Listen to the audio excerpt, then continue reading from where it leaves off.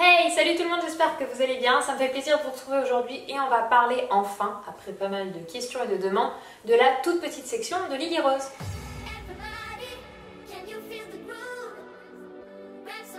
Alors tout d'abord, je vais vous expliquer ben, pourquoi Lily Rose est rentrée ce septembre en, en, petite section. Donc elle est au niveau toute petite section. En théorie, sa première rentrée scolaire ne devrait être qu'en septembre 2020 et elle est rentrée cette année. Alors Lily Rose est du 4 avril 2017, donc du coup étant d'avril, elle ne devrait pas rentrer cette année, mais euh, depuis décembre l'an dernier, déjà elle m'accompagnait chaque matin emmener Eden à l'école, puisqu'Anthony avait repris une formation, donc on n'était plus tous les deux depuis la maison, donc forcément j'allais pas laisser ma fille dans son lit pour emmener son frère à l'école. Donc du coup, bah, de façon logique, elle m'a accompagnée, et c'est vrai que je l'ai trouvée très à l'aise, très contente, puisque Lily Rose n'étant pas en collectivité, elle voit très peu d'autres enfants, quand on va au parc, mais on ne peut pas parler de collectivité en disant qu'on va dans des lieux publics en rencontrant d'autres enfants, ça reste très occasionnel, l'enfant euh, il va dans un cadre de plaisir, enfin je trouve que c'est un contexte différent de l'école, ça c'est mon point de vue personnel. Et donc euh, c'est vrai que je la, je la voyais à l'aise, je la voyais contente, je voyais de l'engouement pour ça. Et euh, l'école d'Éden prend les enfants en toute petite section quand ils sont propres et qu'ils ont déjà un grand frère ou une grande soeur à l'école. Enfin, voilà, ça aurait été le cas d'Eden en portant le premier enfant, il ne l'aurait pas pris en toute petite section, il faut le savoir. Et donc déjà ça c'est le premier point qui m'a fait dire bon bah c'est vrai qu'effectivement la collectivité ce serait, chouette pour Lily Rose, je la sens prête, je la sens, je, lui sens de l'intérêt pour ça. Et euh, le deuxième point, si vous ne le savez pas, Médan il est suivi par une orthophoniste puisqu'il a des difficultés au niveau du langage, donc voilà ça fait maintenant un peu plus de deux ans.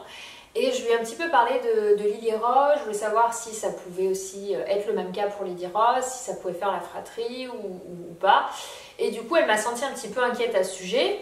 Et donc, elle m'a proposé si je souhaitais pour faire un bilan à Lily Rose, puisque dès 18 mois, il est possible de faire suivre son enfant chez orthophonie. Je dis bien qu'il est possible, mais à mettre en pratique, accrochez-vous, parce que c'est très complexe de trouver une place chez un orthophoniste. Voilà, il faut le savoir. Donc, comme elle suivait déjà Eden, c'est vrai qu'elle m'a proposé gentiment de faire un bilan. À Eden, à 18 mois, je n'aurais jamais trouvé de rendez-vous, parce que partout où j'appelais, on me disait tant qu'il n'a pas 3 ans, on ne prend pas. Donc, euh, voilà, parenthèse fermée. Et donc, euh, elle m'a fait un bilan de Lily Rose complet. J'ai aussi fait faire chez d'autres spécialistes, etc. J'ai voulu faire un, topo comme j'avais pu faire pour Eden, que du coup j'avais pu faire pour Eden, je l'ai pu faire encore une fois plus facilement pour Lily Rose. Et il en est ressorti que Lily Rose, au final, était tout à fait standard au niveau langage, comme un enfant de son âge. Elle n'avait pas une super conversation comme peuvent avoir certains enfants. En revanche, ce qui était ressorti, c'est qu'au niveau motricité, que ce soit fine, générale, blablabla, tout ce qui touche la motricité, elle avait euh, ces examens qui montraient qu'elle était en avance, donc de 6-8 mois à peu près.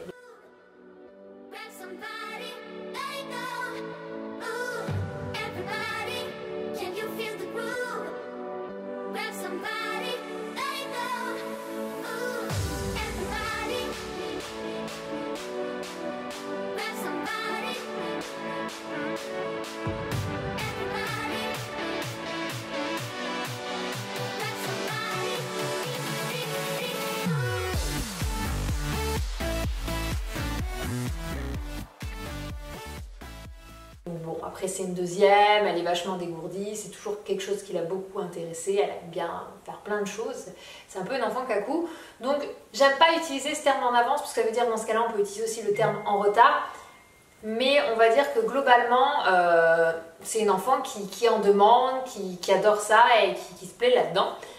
Donc entre bah, le fait qu'elle soit à l'aise et prête en termes euh, de capacité et le fait qu'elle soit euh, en demande de collectivité, on s'est un petit peu intéressé à cette toute petite section en se demandant bon, qu'est-ce qu'on fait? On y tente, on n'y tente pas? Et à l'école, elle a pu faire plusieurs matinées, sur plusieurs matinées, des heures d'adaptation.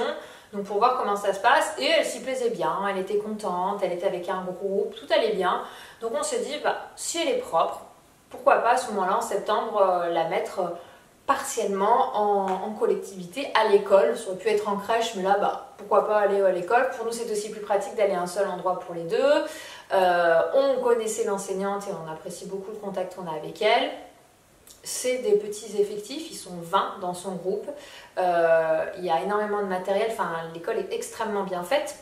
Donc on s'est dit, ben, pourquoi pas. Donc euh, au début, on s'était dit, on va la mettre juste les matins, donc les 4 matinées, sachant qu'on part un petit peu vers presque 9h de la classe, on la récupère c'est 11h30, donc ça faisait 9 euh, à 10, ça faisait 2h30, 2h40 en classe, donc c'est pas énorme, c'est quand même un court temps.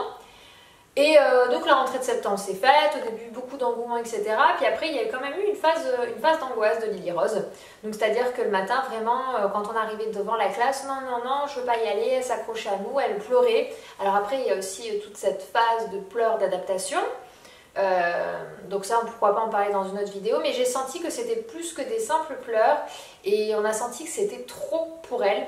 Et euh, genre, vous voulez vraiment, je, tenais vraiment à observer comment elle allait s'intégrer dans la classe, comment elle vivait ses émotions.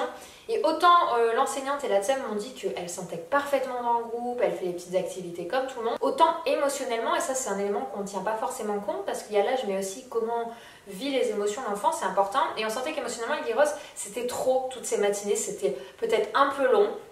Et donc on a réadapté dès la fin de la première semaine qu'on a vu que, que j'ai constaté ça. Je l'ai passé de 4 matins à 2 matins. Et du coup, deux fois 2h30 par semaine, et eh bien complètement, on n'a plus de pleurs, on n'a plus de crise, on a de l'engouement. La TSEM m'a dit qu'en plus, ça y est, maintenant, au bout d'un petit mois d'école, ça fait presque un mois qu'ils sont à l'école là, euh, Lily Rose avait parfaitement intégré les notions de, vie de groupe, qu'elle suivait le groupe, que ça y est, elle, elle faisait son petit chemin avec tout le monde. Euh, bon après c'est une toute petite section, hein. elle va avoir deux ans et demi là début octobre, alors qu'il y en a qui arrivent qui ont déjà plus de trois ans, donc forcément il y a une année scolaire de différence. Euh, mais elle suit parfaitement, donc vraiment je pense qu'on a fait le bon choix. Deux matins, on verra en janvier ou en avril quand elle approchera de ses trois ans, peut-être pour augmenter à trois ou quatre matinées. Cette année, une chose est sûre, elle n'ira pas en journée complète parce que je la trouve trop petite euh, et je la sens pas de la mettre à la cantine pour le moment. C'est une enfant qui mange bien, mais qui mange à son rythme, etc. Nous, on a toujours la possibilité de la faire manger avec nous ou avec ma belle-mère, avec la mamie. Ils aiment beaucoup qu'on a avec elle, c'est vraiment important. Donc ça nous fait plaisir de la laisser manger avec mamie. Puis moi, j'avoue, pour mon travail, ça m'arrange de pouvoir être tranquille jusqu'à 13h et pour après consacrer mes après-midi à eux. Et donc euh, voilà, on verra pour, euh, pour mettre le, des temps en plus après. Mais je trouve que cet avantage de toute petite section, c'est qu'on peut y aller en progression. C'est pas obligé d'y aller tous les matins, toute la journée.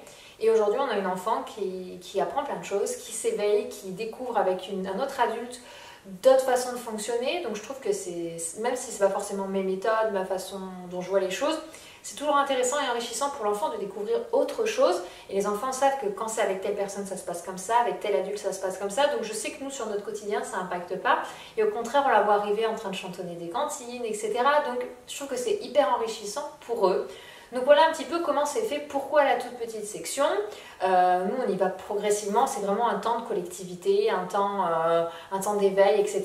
Différent de celui qu'on peut lui proposer nous. Donc je trouve que c'est enrichissant. Au niveau de la propreté, bah écoutez, euh, elle fait son petit chemin. Nous, l'après-midi, on la laisse en, couche pour la sieste, etc. Parce qu'on sent que du coup, bah, tout ça, c'est tout nouveau. Donc on ne veut pas brusquer à ce niveau-là des étapes. Hein.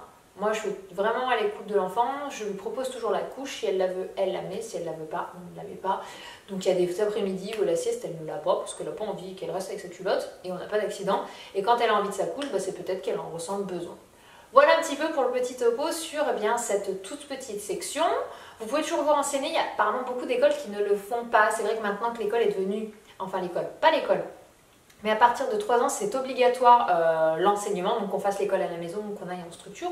Maintenant, c'est devenu obligatoire. Avant, c'était 6 ans. Donc, à partir de la rentrée en CP, avant la maternelle, entre guillemets, n'était pas un passage obligatoire. Ces 3 années n'étaient pas obligées d'être en apprentissage, puisque c'est qu'il y a vraiment les deux méthodes et il ne faut pas oublier que vous pouvez aussi avoir la possibilité, si vous en sentez l'envie, la capacité et la possibilité euh, en temps, de le faire à la maison. Donc maintenant, les structures peuvent moins facilement recevoir les toutes petites sections. On a beaucoup de soucis de classe euh, trop nombreuses. Euh, j'ai la chance d'avoir une école à petite échelle et encore l'année où était avant Eden, puisque Eden, au niveau groupe, il a changé de groupe. Ils sont maintenant 13 dans son groupe et dans une classe double. Donc ils sont 18 au total, mais 13 dans son groupe à lui. Et euh, à l'IRE, sont 21. Mais l'an dernier, ils étaient 29-30. Donc on a aussi ces soucis de, capacité d'accueil. Bref, tout ça a fait que pour nous, bah, ça a pu se faire et ça se fait bien. Et voilà, j'ai envie de vous faire un petit retour. J'attendais de voir comment se passait ce début en toute petite section, savoir si on faisait marche arrière et qu'on la retirait. Vraiment, on avait vraiment envie d'observer, de voir comment ça se passe. Euh, et, on est très content d'avoir fait euh, ce choix-là. Voilà, j'espère que cette petite vidéo vous aura plu. N'hésitez pas à me dire en commentaire bien vous comment s'est passée la rentrée de vos enfants, si l'adaptation s'est bien passée, s'ils s'y plaisent, si vous, sentez votre enfant bien et si vous avez rencontré des difficultés, comment vous avez pu essayer de résoudre et d'accompagner votre enfant au mieux. Je vous fais des bisous, à demain pour un vlog. Mmh. Ciao mmh, mmh,